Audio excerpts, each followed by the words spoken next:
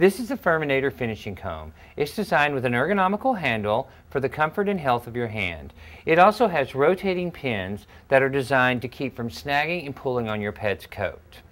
When you're combing your pet, you want to start at the base of the neck and comb short, smooth strokes all the way down your pet. Combing regularly is good for your pet because it removes any small pin mats that may have been missed by brushing. It also helps increase the oil productivity in your dog's coat, which creates a nice, smooth, shiny coat. The Furminator finishing comb is also designed to be able to use uh, around the face, the beard, and the eye area.